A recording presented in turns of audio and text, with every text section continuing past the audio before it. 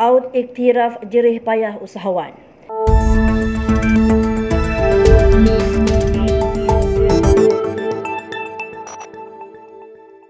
Buat julung kalinya, Kerajaan Terengganu melalui Yayasan Pembangunan Usahawan YPU akan mengadakan Anugerah Usahawan Terengganu AUT bagi mengiktiraf para usahawan di negeri ini. Pengerusi Jawatan Kuasa Keusahawanan Sumber Manusia, Industri Mikro dan Hal Ehwal Pengguna Terengganu, Muhammad Nur Huzaini Abdul Rahman berkata, penganjuran AUT menunjukkan kerajaan negeri cakna kepada usahawan-usahawan di negeri ini.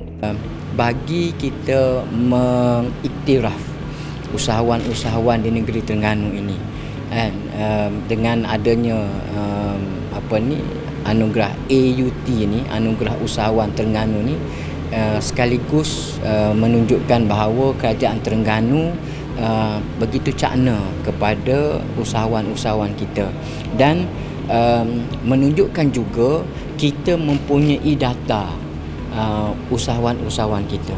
Uh, maknanya dengan anugerah ini kita boleh uh, mengklasifikasikan mana usahawan uh, maju, mana usahawan dalam segmen-segmen. Kalau uh, tidak silap saya ada enam kategori. Maknanya setiap kategori itu mewakili uh, apa ni disiplin uh, usahawan itu sendiri.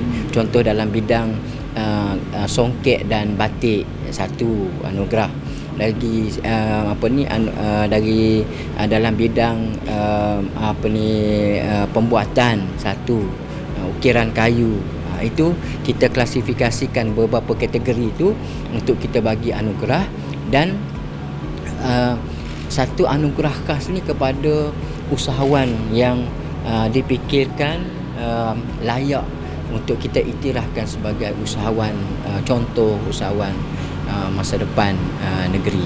Beliau berkata demikian ketika ditemui urus setiap penerangan Darul Iman UPDI selepas merasmikan taklimat berkenaan Yayasan Pembangunan Usahawan YPU, Dana Putra dan Anugerah Usahawan Terengganu di Tamu Hotel dan Suite Kuala Lumpur.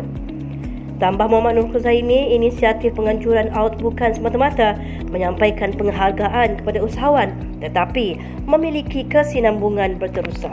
Uh, kita um, uh, tidak uh, berhenti di situ sebenarnya uh, kerana uh, kita akan tawarkan kepada pemenang-pemenang anugerah itu untuk mereka uh, melangkah lebih maju lagi.